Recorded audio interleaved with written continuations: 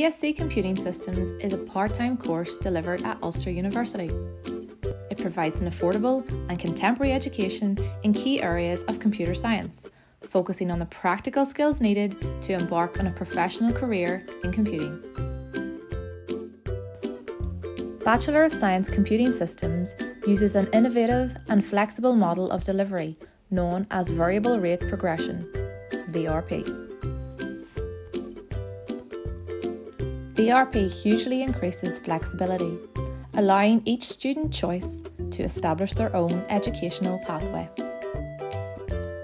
An interactive tool called the VRP Assistant captures your module choice prior to enrolment each year. The VRP Assistant guides you to select modules for the upcoming year or to defer modules to the following year.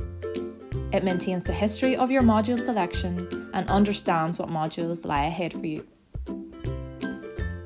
This flexibility allows students to define their own pathway through computing systems, selecting module combinations that support completion of the course within three, four, five, or even six years.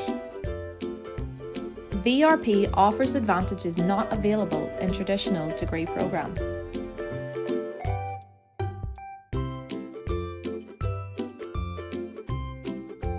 Unlike traditional course design, where modules and workload are predetermined, a VRP degree empowers you to choose your own workload each year.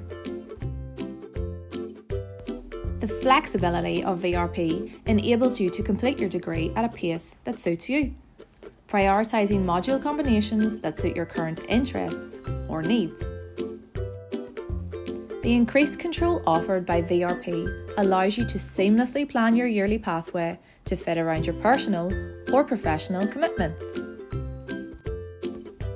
You may spread the cost of the course over a number of years that best suit your budget, making this a value option.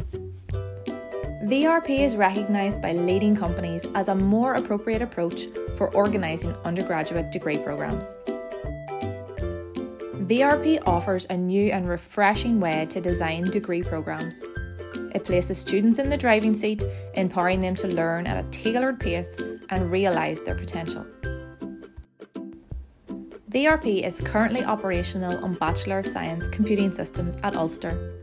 See vrpassistant.com for further information.